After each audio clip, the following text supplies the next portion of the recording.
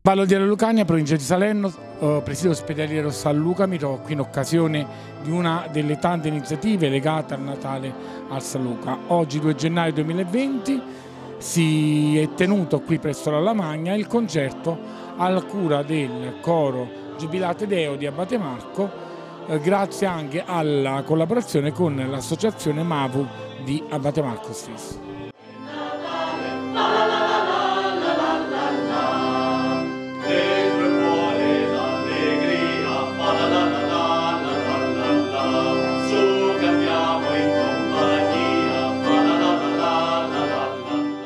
Sì, eh, abbiamo accolto eh, con piacere l'invito dell'ospedale San Luca eh, di organizzare un evento a favore dei pazienti ricoverati presso questo presidio. E devo dire che abbiamo avuto una risposta positiva innanzitutto da parte del coro Giubilate Deo di Abate Marco che eh, si è offerto di suonare eh, qui per noi in maniera eh, gratuita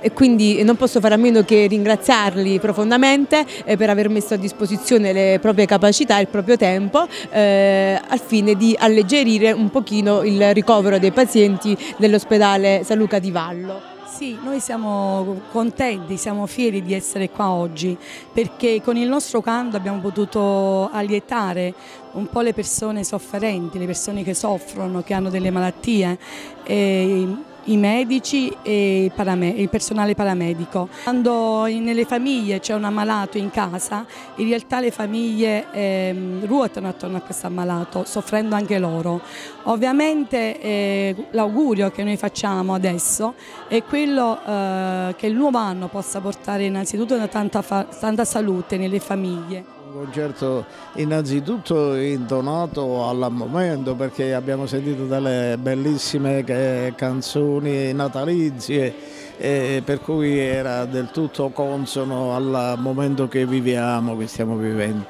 ma eh, soprattutto poi il significato, il significato solidaristico, eh, la solidarietà per eh, gli ammalati di tumore, la solidarietà per le famiglie degli ammalati di tumore, perché una malattia oncologica non costituisce soltanto un dramma esistenziale per la persona che ne viene colpita, ma costituisce un dramma esistenziale che coinvolge l'intero nucleo familiare.